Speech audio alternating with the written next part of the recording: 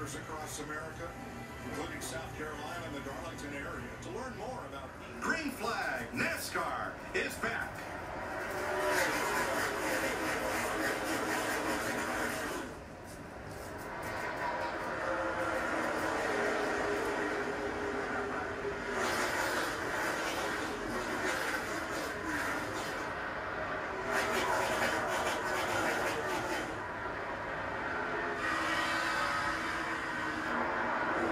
Trouble back straight away.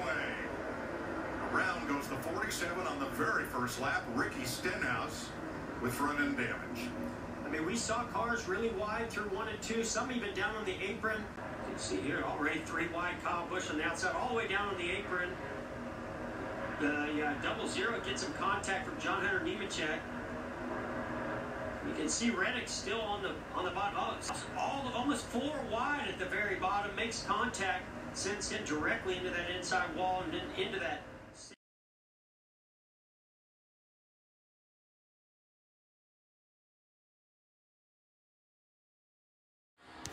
So you see Jimmie turns down low, runs all four on that apron like he's been doing. Oh, the 17 had to check up just a little bit. Jimmie's right front made contact and turned him around. Boy, it didn't take much, just the tiniest bit. Oh, yeah, you can see the 17 pushing just gets a little a little contact outside wall, checks out. In the 48 of Jimmie Johnson, that Ally Chevrolet made contact. Boy, so disappointing. Of all the unbelievable things I've seen in this sport, that is right up there. Jimmie Johnson going for the stage win. Corrections.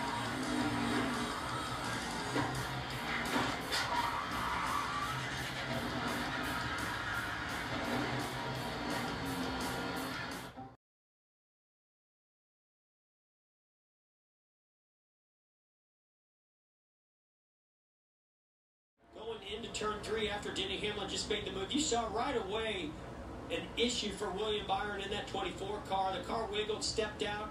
He just tried to correct it and made contact with outside wall. I really believe this started back off of turn two because when Denny was able to get to the inside of him, that had not been the lane that he had been running. And he had to, to, to really check up there when Denny went by. I, th- I think something was going on even earlier. Jones had to jump on the brakes. Face of action there.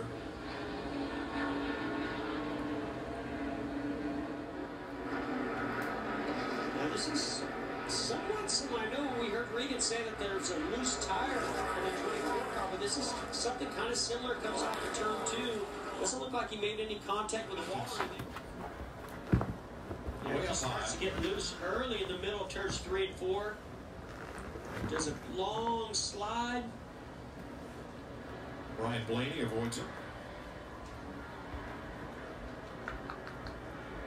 Here pops tire. Oh, he did make some contact with that left front. Might not have made it. So there's Logano on pit road in the middle of your screen, and there's Buescher having having problems. Well, yeah, look, I don't know if the nine a lot of things to get back to pit road. And we're told Logano did get to uh, the the uh, timing line at the center of pit road, the start finish line. And he got really loose. I don't know if he was. I don't think he was trying to get to pit road. It's possible, but I think he just got really loose in the middle of turns three and four, saved and lost all that momentum. And then that was. This is riding on board.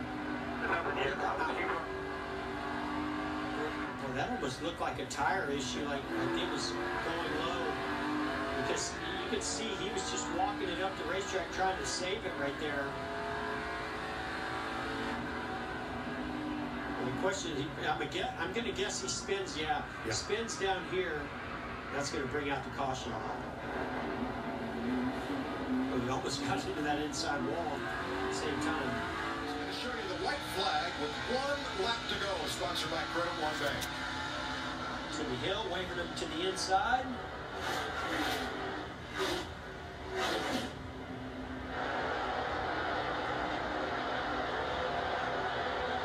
Back straight away, final time.